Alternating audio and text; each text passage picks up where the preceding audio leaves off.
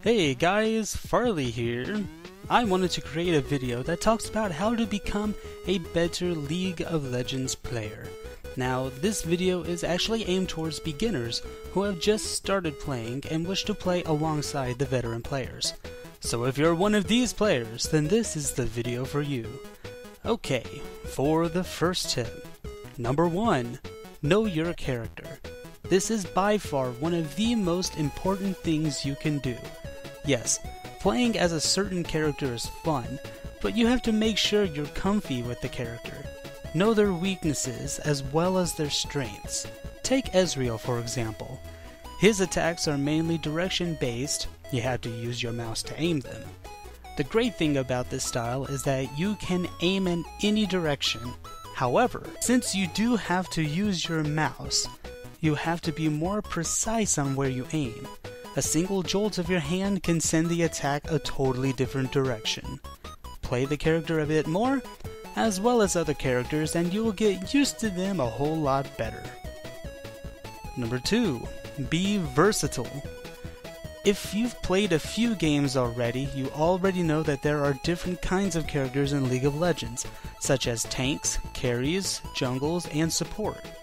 It's good to focus on one kind of character, but it's best to at least play a few games as other kinds.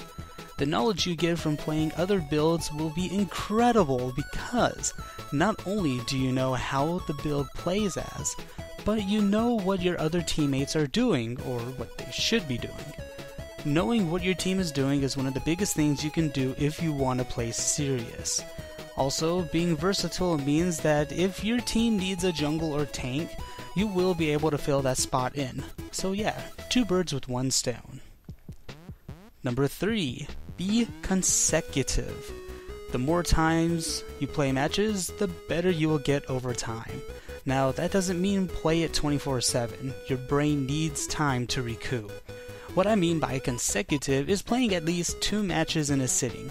If you play just one game, then leave, you're not going to grab the same amount of information that you would with two if you find a playtime pattern that suits you, like two times a night for four nights a week, then not only will you be able to get more playtime under your belt, which means both hitting level 30 as well as understanding more about your favorite character's playstyles, but your brain won't go into meltdown mode and you won't get burnt out of the game. Number 4 Communication. Chatting in the text-based chat is great, but takes away from using your hands for attacks, as well as your concentration on the battlefield. Using a program like Skype and Ventrilo increases your communication with your team by a landslide. We've been giving senses in life, such as feel, sight, and sound, might as well utilize them as much as we can instead of putting some into overdrive. I'm sure there are other tips out there, but for now, these are the ones that stand out the most, and is what I believe every player should know about League of Legends. Thank you all for watching, and I hope you all enjoyed it. If you did, leave a nice thumbs up, or even subscribe, as I will plan on placing more tips and such to help out in any other game out there. And as always, my name is William. You may call me Farley. Good night.